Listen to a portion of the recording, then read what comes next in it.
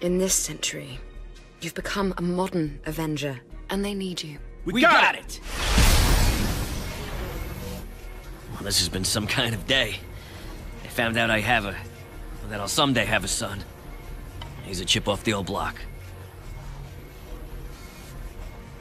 You won't remember any of this when you get back. Who wants to know their future? I want to be surprised when it happens. I wish I'd be able to remember this when I get back. But somehow, I think I'll know that the rest of the 20th century will be okay. I guess I can't stay, but this can. You take care of her. And I don't mean super up with any of those gizmos. Some things are perfect just the way they are. Peggy, I'm sorry you still haven't gotten that dance I promised you so long ago. Maybe some things were never meant to be.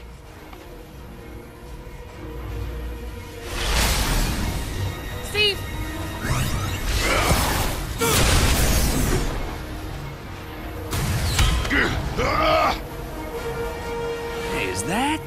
Arno Stark! Curse you, Starks! No time left, Peg!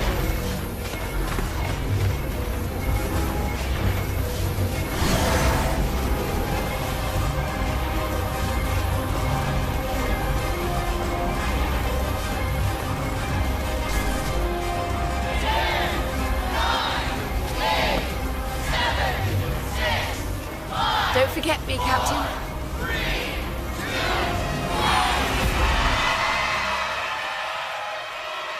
Weren't we just arresting Dr. Faustus?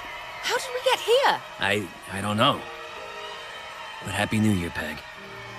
I have a feeling the future is gonna be good.